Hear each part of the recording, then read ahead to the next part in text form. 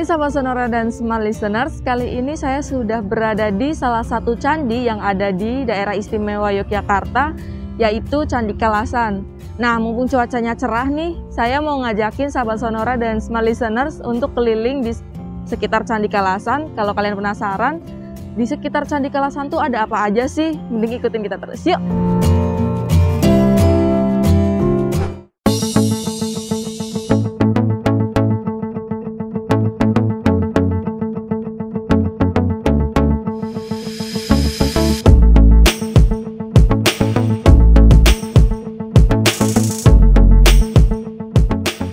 Candi Kalasan adalah candi yang bercorak Buddha.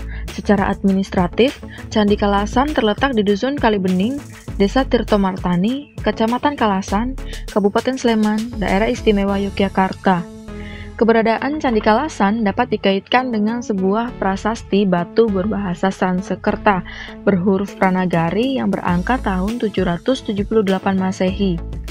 Di dalam prasasti Kalasa itu disebutkan tentang diperingatinya jasa Maharaja Tejah Purana Panangkaran yang telah membangun sebuah kuil bagi Dewi Tara, serta memuat arca Dewi yang kemudian ditahtakan di dalam kuil tersebut. Kuil tersebut dinamakan Tara Bawana yang kini dikenal sebagai Candi Kalasan. Candi Kalasan mempunyai keunikan bila dibandingkan dengan candi-candi lain di sekitar Prambanan.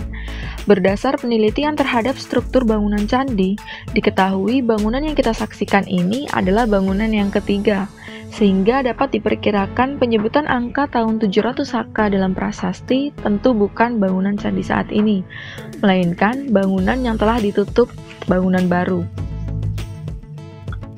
Seni hias pada Candi Kalasan juga mempunyai ciri khas, yaitu berupa pola hias sulur gelung yang ditempatkan secara vertikal pada tubuh candi sehingga bisa memberikan kesan tinggi pada bangunan.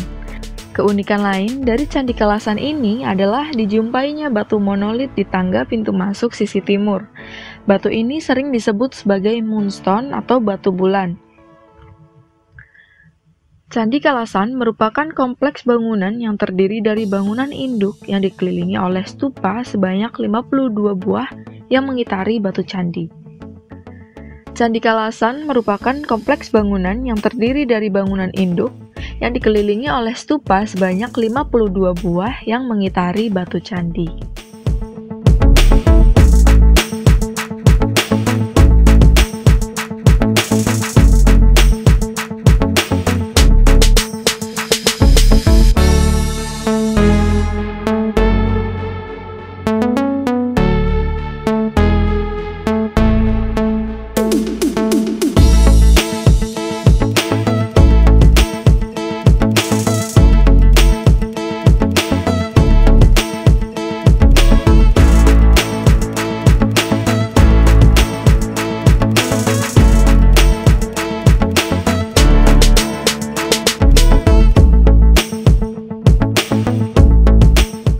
Ya, itu dia sahabat Sonora dan Smart Listeners. Itu tadi Candi Kalasan.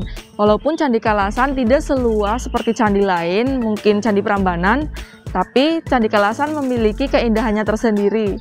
Sampai di sini, semoga kalian menikmati perjalanan kali ini ya. Sampai jumpa.